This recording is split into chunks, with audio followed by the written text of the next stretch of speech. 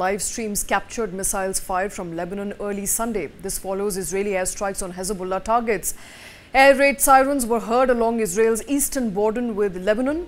Hezbollah has not yet commented on the strikes. The escalation follows a recent missile attack in Golan Heights that killed 12 and Israeli assassination of senior Hezbollah commander in Beirut. New civil defense instructions will soon be issued warning civilians in southern Lebanon to avoid areas where Hezbollah operates.